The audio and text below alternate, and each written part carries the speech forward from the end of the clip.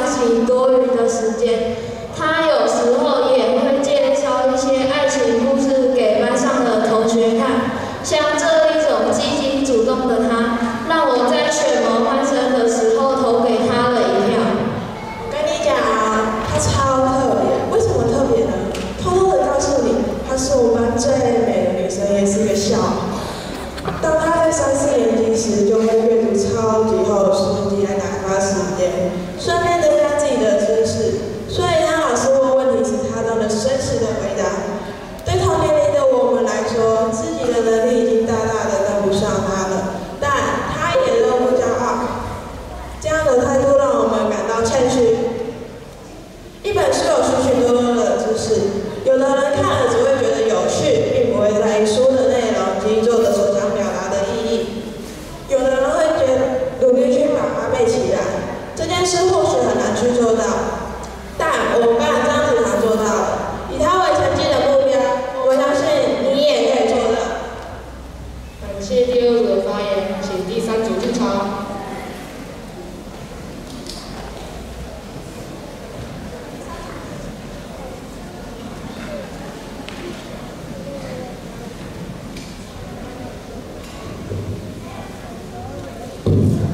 当同学有误解时他就愿意站出来帮忙只要是他能解决的。话就能伸出援手帮助我们但是解决问题是我们这一组要介绍的。解决问题是我们这一组要介绍的。当同学有误解时他愿意站出来帮忙只要是他能解决的。话就能伸出援手帮助我们要是无法的话也愿意伸出援手帮助我但值得一提的是他愿意牺牲自己的善后事情来帮助对方提供无限期有一次有两位同学发生了争执他没有惊慌失措反而先了解当场的情况并提出适当的解决方法让两位同学的争执就到此结束了。解决一件事情过后一道题目是不是变得简单许多。呢不需要你公之做也不需要觉得是一件可可耻的事努力一下你或许就可以像张成团一样破解了你的一项优点。感谢第三组的发言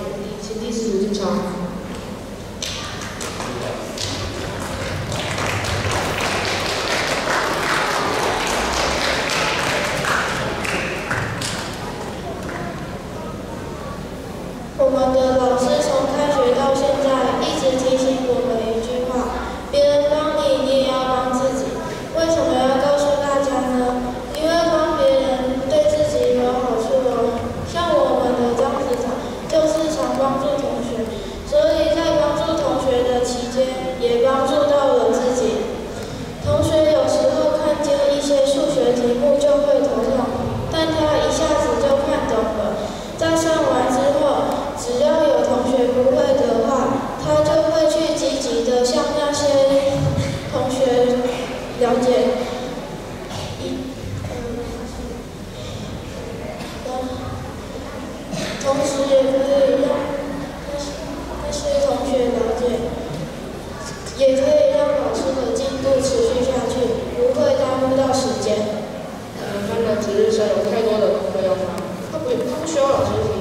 就会主动去帮忙值日生帮作业。当我们班有三同没有考试，他不会把阿三同同学叫回来，而是自己默默的把他抬到楼下，让我佩服的无比。别人帮你，你也要帮自己。这句话我送给大家，希望你们能像张志强一样，当自己的事能，帮助到自己。